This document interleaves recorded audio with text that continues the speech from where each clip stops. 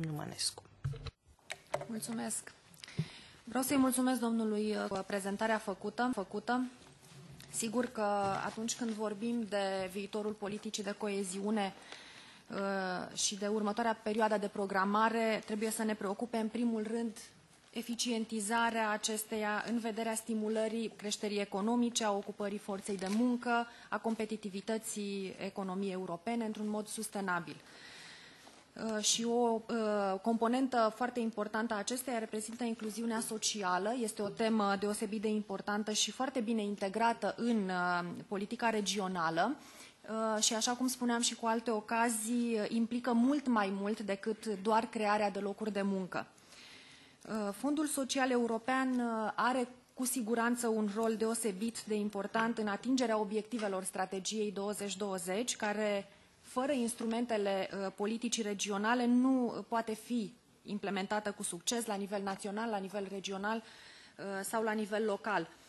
Uh, este foarte clar că Fondul Social European este un element cheie împotriva în, în lupta împotriva crizei economice, alături de Fondul European de Dezvoltare Regională și până acum s-a dovedit că aceste două fonduri Uh, au uh, lucrat foarte bine împreună și trebuie să continue să funcționeze împreună uh, caracterul integrat orizontal al acestora fiind vital pentru succesul politicii de coeziune și pe viitor. Vorbeați de o mai bună coordonare a fondurilor și vorbeați de uh, analize făcute de comisie cu privire la impactul, la eficiența uh, utilizării Fondului Social European în diferite, diferitele state membre. Uh, și uh, pentru că ați făcut referire și la România, um, și la faptul că în România, în mod special la faptul că în România Fondul Social European și nu numai, în general fondurile structurale sunt uh, slab, să spunem, slab accesate, rata absorției este foarte mică.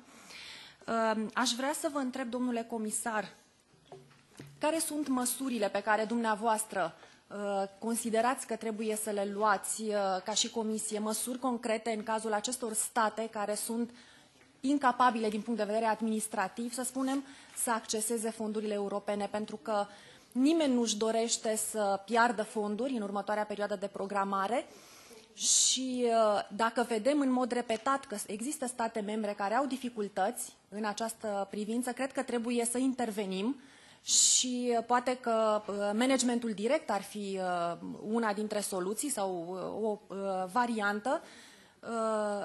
Alături de alte, alte instrumente, instrumentele de inginerie financiară, eurobonduri sau variante ale acestora, în așa fel încât să putem să dăm posibilitatea acestor state să utilizeze fondurile și să prevenim pierderea acestora pentru următoarea perioadă de programare. Vă mulțumesc! Thank you.